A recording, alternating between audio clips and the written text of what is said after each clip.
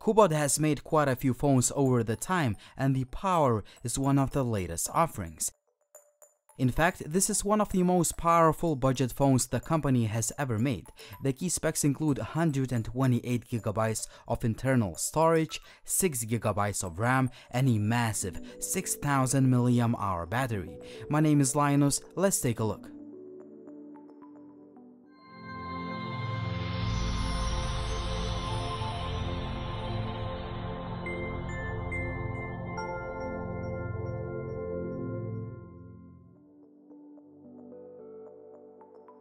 The phone ships with some paperwork, USB cable, a power brick, and a soft TPU case.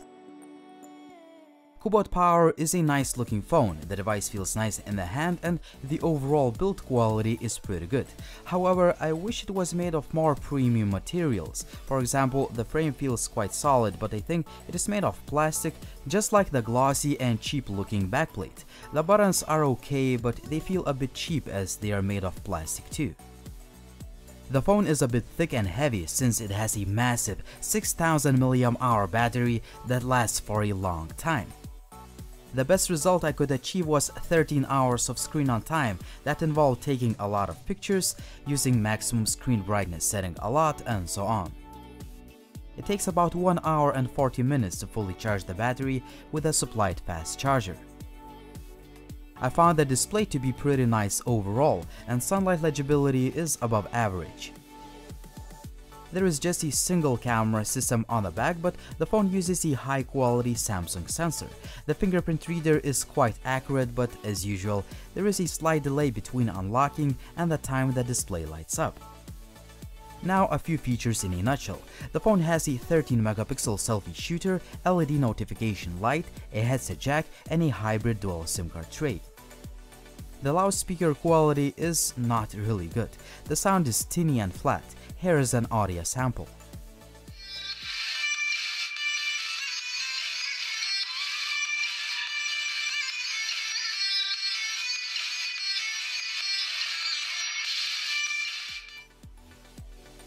A huge selling point of the Cubot Power is an impressive sheet of specifications. In terms of gaming performance, is the usual case with the Helio P23 processors. It's possible to play most of the 3D games, but you should expect to see some skipped frames here and there and a bit of stutter from time to time. That's the case with the games like Asphalt Xtreme or Shadow Fight 3. If you play PUBG on medium graphics, you should expect to have quite a bit of lag and stutter. One of my favorite features of the Cubot Power is stock Android 8.1 user interface. There is no bloatware, no gimmicky features and most importantly, the overall performance is just great. The phone feels nice and smooth all the time even after installing quite a few apps. I'm really happy with a clean and fast user interface. I didn't expect that but I'm happy to say that the image quality is pretty good overall. I believe this is the best camera phone Cubot has ever made as the pictures usually come out nice and detailed and even dynamic range is handled well. Obviously there is a bit too much visible noise in some of the shots etc but that's nitpicking. Low light image quality is not the best but again it's surprisingly decent for a sub $200 phone. Selfies could look a little bit sharper but they will do the trick for social media. 1080p video quality is quite good, However, there is no continuous autofocus and the footage is quite shaky. 1080p selfie video looks pretty good too and the sound recording quality is decent. I didn't have any issues in the connectivity department. The signal remains strong all the time and call quality is decent. Also GPS is accurate to use. The phone has e-gyroscope among other sensors.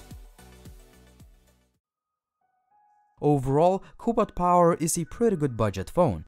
Even though it's not perfect, it exceeded my expectations. I like that the phone ships with 128GB of internal storage and 6GB of RAM.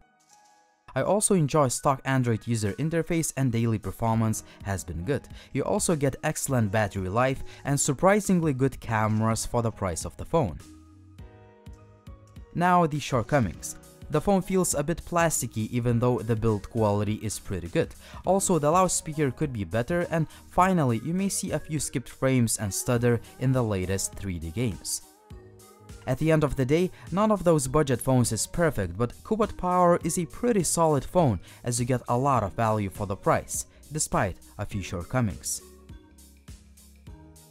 So what do you guys think about the Cubot Power? Would you choose this phone or would you buy another device? As always, use that comment section down below and please visit gizmochina.com for all the latest and greatest Chinese tech news and reviews. It was Linus, thanks for watching and see you soon.